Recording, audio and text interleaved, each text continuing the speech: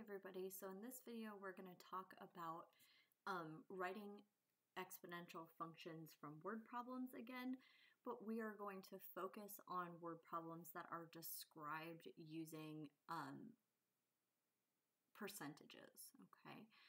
So we're going to start with our same basic form, right? So in the last video, we were using the form, um, sorry, f of x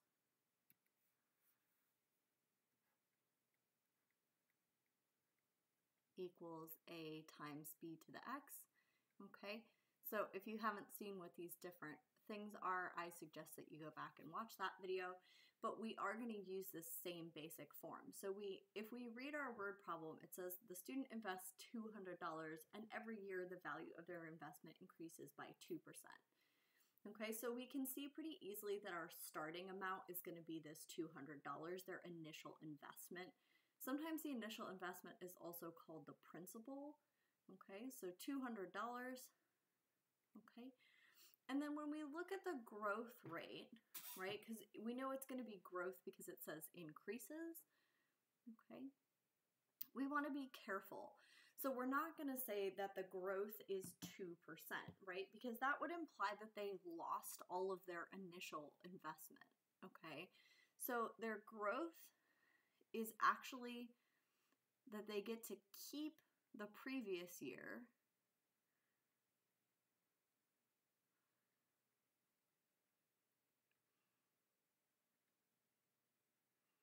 okay and, right, we're going to add the increase. Okay, so it's important that you include that they're keeping the initial year, or like I said, it implies that they've lost all of that money. Okay, now the previous year is always going to be 100% because you're comparing it to itself, right? So you're keeping 100% of the initial investment okay? And then our increase is that 2%, okay? So we're gonna end up with 102%. That's our growth, okay? But our B value is gonna be the decimal form of that percent or 1.02. Okay, so first of all, make sure that you're including that 100% of the initial investment. And second of all, we wanna make sure that our B value is in decimal form. So we're gonna have 1.02 to the X.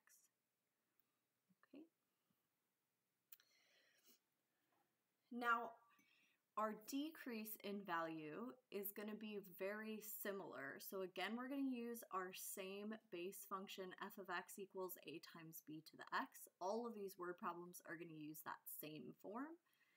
So we can see that the initial value of the car is the $26,000. So we're going to fill that in for A.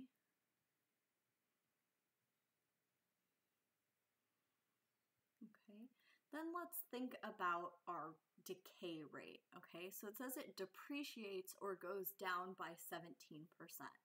Okay, so we know that this is going to be decay, like I said, because the value is going down or depreciating.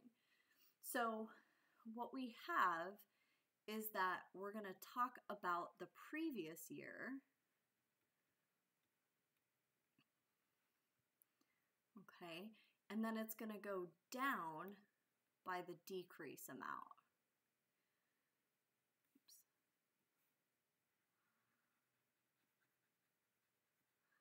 Right, so we're really going to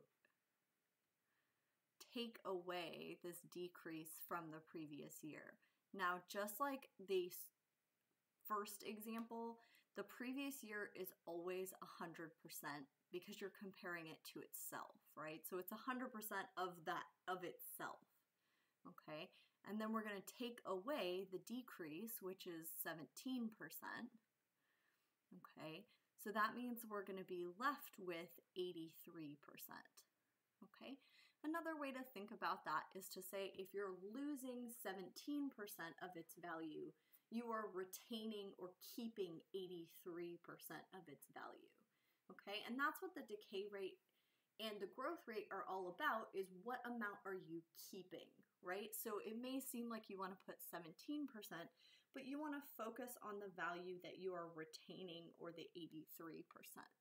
Okay, so again, our B value is going to be the decimal form of that, which is 0.83. Okay, so we'll have times 0.83, I guess I should put 0.83 to the x. Okay, so there's our examples with um, increase and decrease described with percent. In our next video, we're going to talk about the most difficult case, which is what if it isn't every year, right? What if it's every other year or every 10 years? And what do we do about that? Okay, so I'll see you guys then.